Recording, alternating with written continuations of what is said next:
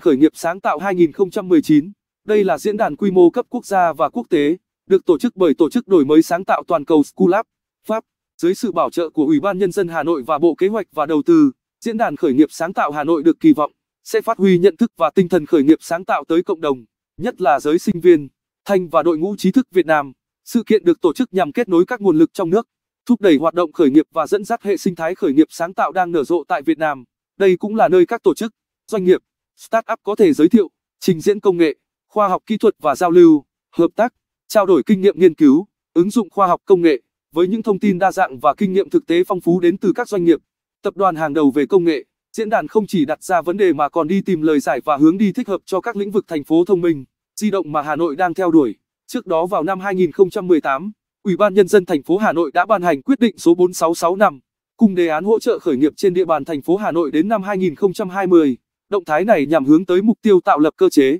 chính sách, môi trường đầu tư kinh doanh thuận lợi để khuyến khích phát triển kinh tế tư nhân, từ đó góp phần đưa kinh tế thủ đô và cả nước phát triển nhanh bền vững. Tháng 7 năm 2019, Hội đồng nhân dân thành phố Hà Nội cũng đã thông qua nghị quyết về việc hỗ trợ khởi nghiệp sáng tạo trên địa bàn Hà Nội giai đoạn 2019-2025. Theo đó, Hà Nội sẽ hỗ trợ về kinh phí phát triển cơ sở hạ tầng, hoạt động truyền thông, đào tạo phát triển nguồn nhân lực cho các doanh nghiệp thuộc hệ sinh thái khởi nghiệp, đổi mới sáng tạo